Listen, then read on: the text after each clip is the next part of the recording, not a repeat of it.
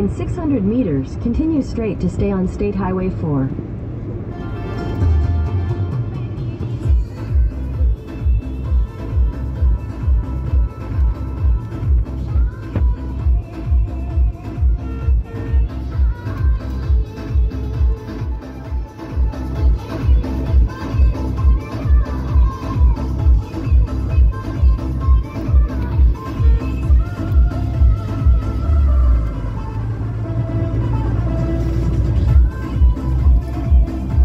Continue straight to stay on State Highway 4.